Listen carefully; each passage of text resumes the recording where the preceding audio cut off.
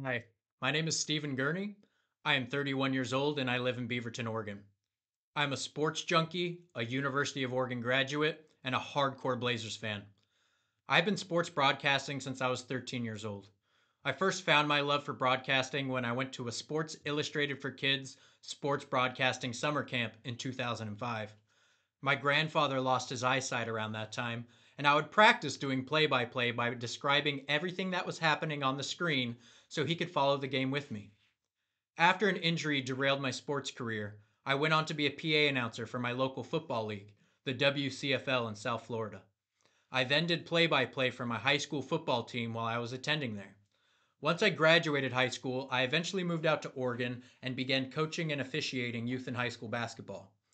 During my time at the University of Oregon, I was the PA announcer and DJ for the University of Oregon hockey team. Yes, they have a hockey team. Once I moved to Beaverton, I worked a few events with the NWABA, a nonprofit that hosts events for young blind athletes.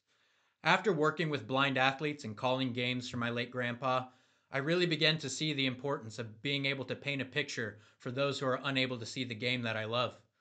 Being a sports broadcaster has been my dream since I was 13 years old.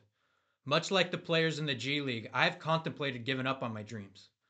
That was until I saw a job posting for the remix, and that dream spark was reignited.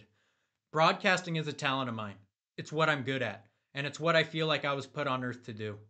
I've attached some clips of me announcing games at UO and a brief video of me doing a mock play by play for the remix. I am willing to do play by play, color, or PA announcing. Wherever you believe I fit best is the position I will prepare for and give my all to. You will find no other candidate that is willing to prepare and put in the work that I do. I will bring the energy and excitement this team and fans deserve.